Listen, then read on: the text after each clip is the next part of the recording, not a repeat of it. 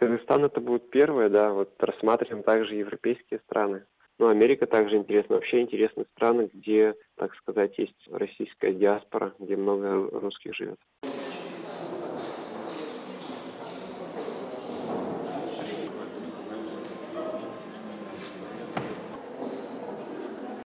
выручки, у вас вы не присутствуете не только и наоборот не из Удмуртии, а федерального уровня, те, которые очень редко приезжают в Ижевск и вообще в Удмуртию. У нас был секретный